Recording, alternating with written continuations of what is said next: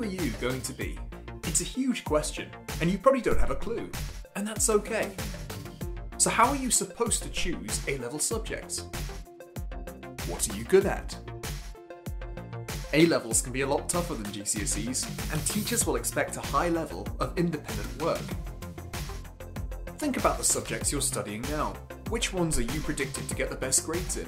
Which are you best at?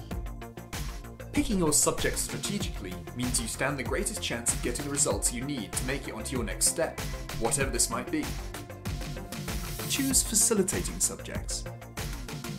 Facilitating subjects are a handful of A-level subjects you'll often see in university entry requirements. These are subjects like biology, English, geography, history, maths, or modern languages. Think of them as the core subjects you're used to studying now, Choosing some of these subjects means that, even if right now you have no idea what to study at university, you're keeping your options open.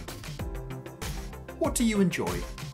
Whichever subjects you choose, you'll be immersed in them for the next two years, and it's difficult to do well in a subject that you're not interested in. Do some research before you choose to make sure you find the modules interesting, and that you enjoy using the skills you'll need to succeed. Are you planning to do a degree? Certain university courses need specific A levels. If you already know what you'd like to study at university, or you have a rough idea, look up which subjects it needs and make these a priority. Do you have a career in mind?